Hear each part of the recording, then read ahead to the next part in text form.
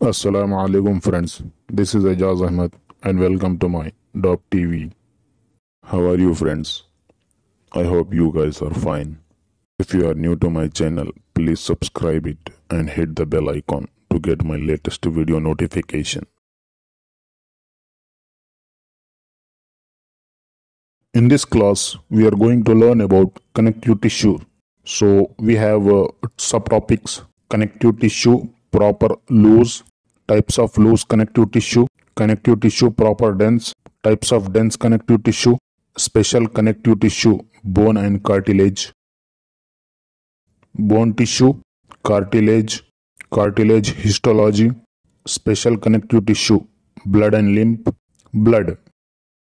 Connective tissue. Connective tissue is composed of cells in an extracellular matrix of amorphous ground substance and collagen elastic or reticular fibers. Connective tissue proper can be classified as loose, areolar, adipose, and reticular tissue. In dense connective tissue, it is classified as regular and irregular dense connective tissue. Tendons and ligaments composed of dense regular tissue as well as bone and cartilage are connective tissues that support the body and help create the skeletal system. Blood and lymph are two atypical connective tissues that have a matrix fluid with no fibers. Tendons, ligaments, bones, cartilages, blood, lymph. So come to the connective tissue proper loose. Connective tissue proper can be classified as loose connective tissue or dense connective tissue depending on how, how its fibers are arranged. Loose connective tissue is characterized by its loosely arranged fibers and abundant ground substance. This structure allows it to cushion and protect body organs. There are three types of loose connective tissue areolar tissue, adipose tissue, reticular tissue. Types of loose connective tissue areolar tissue, papillary dermis. Areolar tissue has a gel like matrix with loosely arranged collagen, elastic, and reticular fibers, scattered fibroblasts, macrophages, and other cells, blood vessels, and interstitial fluid filled spaces located in the papillary layer of the dermis. This tissue supports the epithelium, cushions organs, form the lamina propria, a mucous membranes, and surrounds blood vessels and nerves. Adipose tissue, hypodermis. Adipose tissue has a sparse matrix with closely packaged adipocytes, that is fat cells, as well as fibroblast, macrophages, and other cells located under under the skin around internal organs and in the breast. This tissue provides food storage, insulation, and organ protection. Reticular tissue, lymph node. Reticular tissue has a matrix of reticular fibers and contains many cells, mostly fibroblast. It forms a soft skeleton to support the lymph nodes, bone marrow, and spleen. Now comes to connective tissue proper dense. Connective tissue proper can be classified as, as we all know, loose or dense, depending on how its fibers are arranged. In dense connective tissue, also known as a fibrous connective tissue, it is characterized by tightly arranged fibers. This structure makes it flexible and resistant to tension. There are two types of dense connective tissue dense regular and dense irregular. Dense regular tissue, dense irregular tissue. Dense regular connective tissue, tendon fibers. Dense regular tissue has a matrix with collagen and elastic fibers, little ground substance, and few cells, most of which are fibroblasts. Its closely packed bundles of collagen fibers run parallel, which allows the tendons, ligaments, aponeurosis, and fascia it forms to withstand significant unidirectional tension. This tissue support the skeletal system. Tendons attach skeletal muscle to bone and ligaments attach bone to bone. Dense irregular connective tissue intestinal submucosa.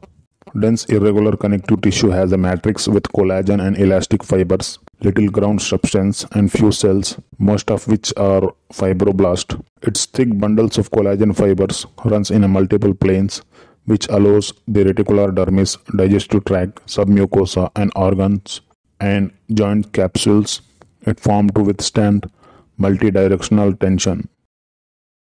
Now comes to special connective tissue, bone and cartilage.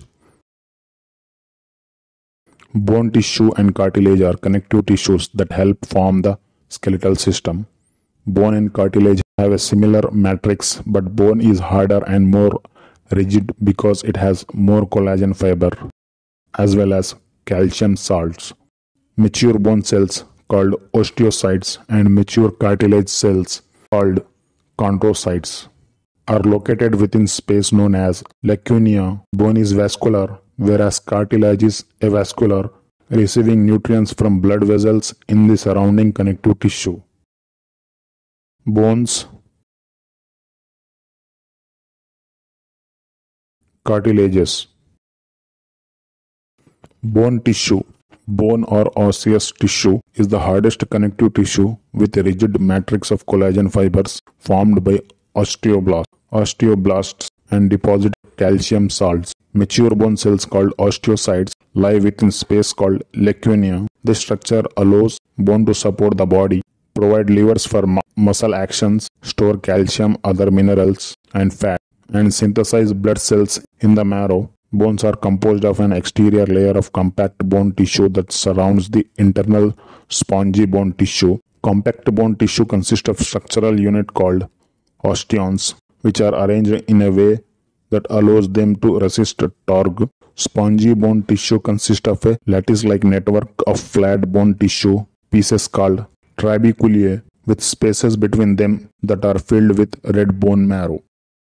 Cartilage Cartilage has a rigid matrix formed by chondroblast with firmly bound collagen fibers and some elastic fibers that give it the strength and flexibility to withstand tension and compression.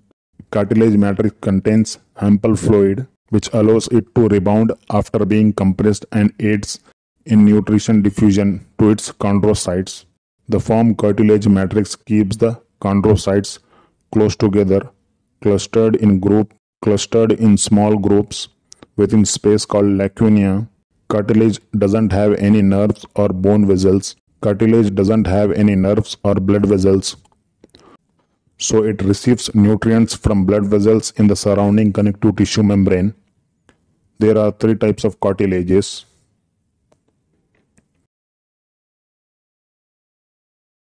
Hyaline cartilage,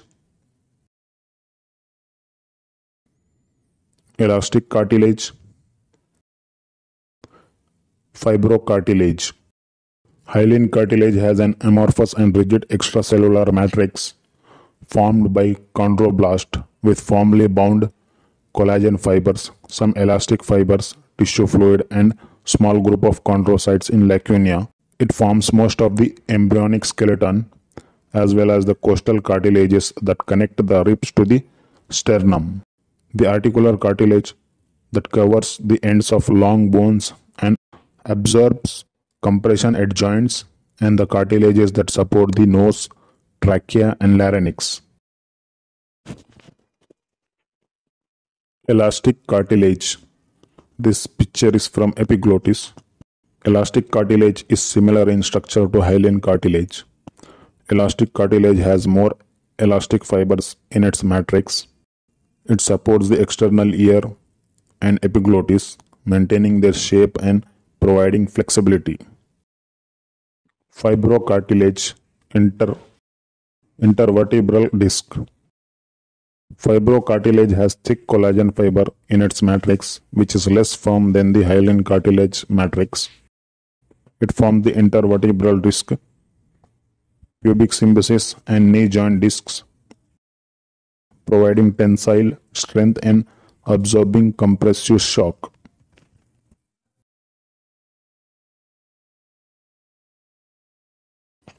Special connective tissue, blood and lymph. Blood and lymph are atypical connective tissues that circulate throughout the blood and lymphatic vessels of the of the body.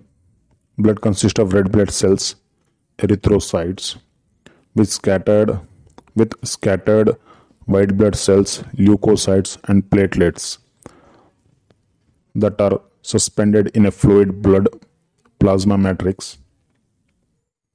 Red blood cells transport respiratory, respiratory gases.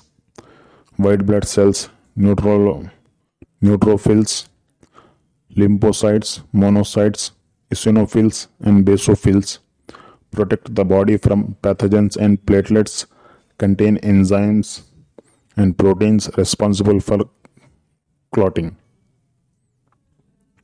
Lymph consists of white blood cells that are suspended in a fluid lymph matrix. It is derived from interstitial fluid and it, and it returns proteins and excess interstitial fluid to the bloodstream. Blood lymph blood blood is an atypical connective tissue that circulates throughout the blood vessels of the body. It is composed of approximately 55% plasma and 45% formed elements which include red blood cells erythrocytes white blood cells leukocytes and platelets. Blood transports oxygen from lungs to body cells and brings waste carbon dioxide from cells to lungs. It also transports nutrients and hormones, regulate body temperature, protect the body from pathogens, and clots to prevent blood loss at sites of injury.